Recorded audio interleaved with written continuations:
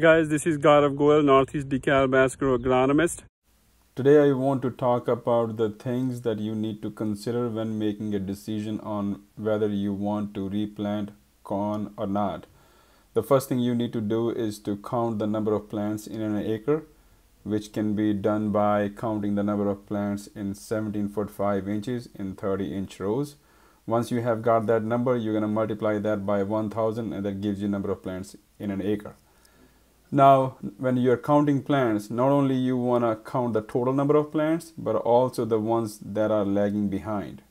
You can see a plant on the right that is lagging behind compared to the plant on the left.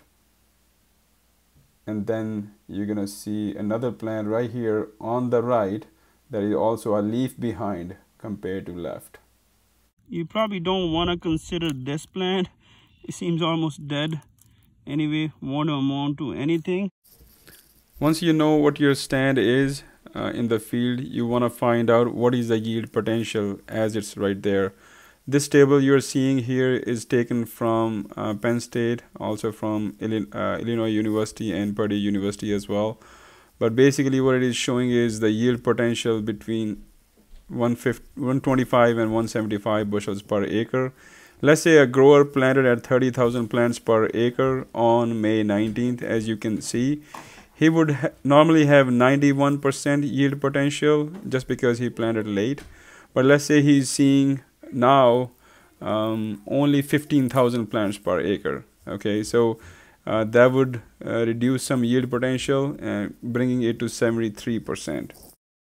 Now consider he can replant on June 9. That will give him a 68% yield potential compared to 73% um, if he leaves the stand as it is.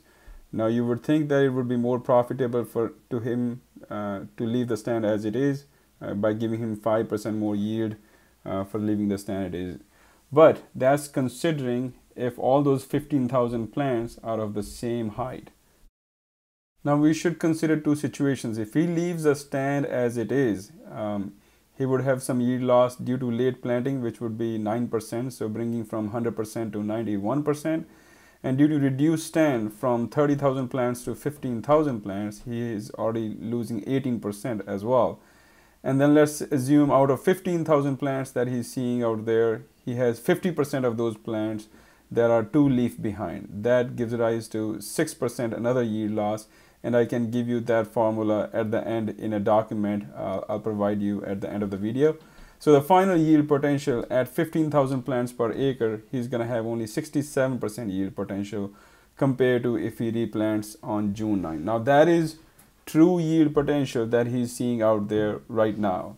Now there are some factors he has to consider if he wants to decide whether he wants to still replant or not. First is he would have to clear his existing stand of crop which he would have to let's say he uses tillage uh, but then he will have to think about whether he's going to reduce the efficacy of the herbicide that's already there or, or he's going to also affect the soil moisture and then whether he has the product that's available he wants to replant. And finally he would also have to worry about insect management since now the insects are going to be more compared to a month ago just because the temperatures are higher.